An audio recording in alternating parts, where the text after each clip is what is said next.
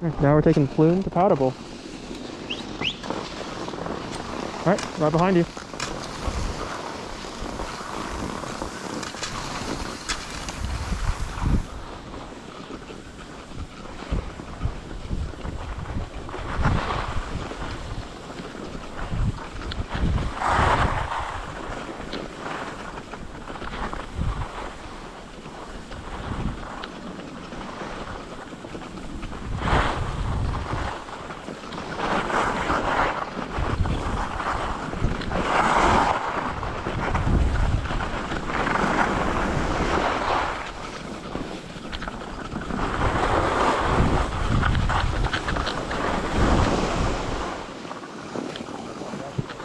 Yep, go ahead.